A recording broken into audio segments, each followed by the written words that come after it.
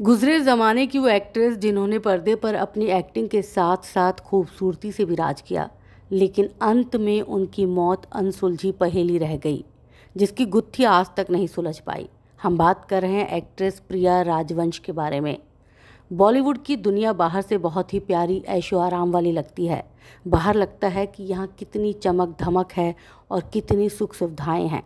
लेकिन माया नगरी के पीछे की सच्चाई के बारे में बहुत कम ही लोग जानते हैं कि कितना मुश्किल है इसमें एंट्री करना और उससे कहीं ज़्यादा मुश्किल है यहाँ पर सरवाइव करना।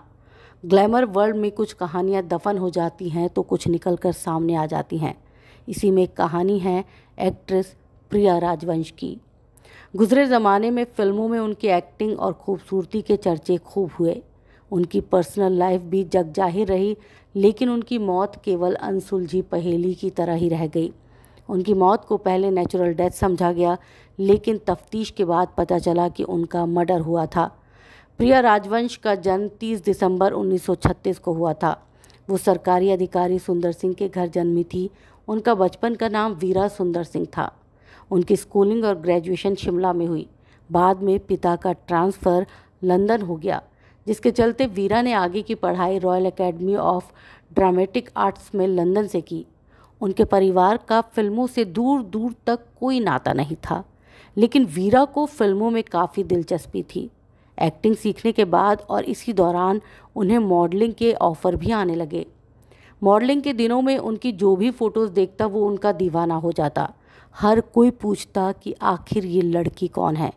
इसके बाद देवानंद के भाई केतन आनंद ने वीरा को अपनी फ़िल्म हकीकत में कास्ट करने का मन बना लिया था। उन्होंने ही वीरा को पहला ब्रेक फ़िल्मों में दिया। वो ज़माने के जाने माने डायरेक्टर हुआ करते थे। प्रिया और चेतन आनंद की फ़िल्म हिट रही। इस दौरान एक और ख़ास बात रही कि एक्ट्रेस और चेतन की शूटिंग के दौरान ही नज़दीकियाँ बढ़ने लगी, जिसके बाद पंद्रह साल बड़े चेतन से एक्ट्रेस को प्यार हो गया।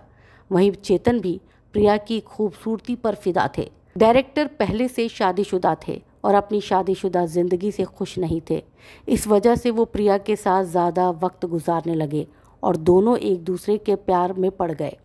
इतना ही नहीं, रिपोर्ट्स में बताया जाता है कि एक्ट्रेस चेतन के साथ लिव इन में भी रही, लेकिन दोनों ने कभी शादी नहीं की। इसके साथ ही बताया जाता है कि डायरेक्टर की पहली बीवी से दो बेटे केतन और विवेक थे। जो उन्हें, यानी कि प्रिया राजवंश को बिल्कुल भी पसंद नहीं करते थे। मामला तब और गर्मा गया जब चेतन ने अपनी वसीयत बनवाई। उन्होंने प्रिया राजवंश को भी उतना ही हिस्सा दिया जितना कि उन्होंने अपने दोनों बेटों के दिया था। वहीं कुछ समय के बाद चेतन का निधन हो गया। डायरेक्टर की मौत तक प्रिया का रिश्ता उनसे रहा। इसके बाद एक्ट्रेस अकेली पड़ गई। चेतन के जाने के बाद ना तो उन्हें कोई सुख का साथी मिला और ना ही दुख का। करीब तीन साल उन्होंने तन्हाई में काटे। इस वक्त तक प्रिया राजवंश इतनी अकेली पड़ गई थी कि आखिरी घड़ी में भी उनके साथ कोई नहीं था। 27 मार्च 2000 को उनके बंगले में उनकी लाश मिली। पुलिस ने जाँच पड़ताल की तो पता चला कि उनकी मौत कोई नेचुरल डेथ नहीं थी, बल्कि उनका मर्डर हुआ था। फिर मर्डर का शक चेतन के दोनों बेटों केतन और विवेक पर गया। साथ ही बंगले पर मौजूद दो नौकरों माला और अशोक को भी इस मामले में घसीटा गया। इन सबको गिरफ़्तार कर लिया गया। एक्ट्रेस ने केतन और विवेक से अपने संबंधों का ज़िक्र एक डायरी में भी किया था, जिसमें लिखा गया था कि चेतन की मौत के बाद उनके दोनों बेटे वसीयत को लौटाने का दबाव उन पर लगातार बना रहे हैं। इसी आधार पर पुलिस ने दोनों को गिरफ़्तार तो कर लिया, लेकिन कोई ठोस सबूत न मिलने की वजह से उन दोनों को बाद में बरी करना पड़ा। और इसके बाद एक्ट्रेस की मौत आज तक अनसुलझी पहेली बनकर रह गई।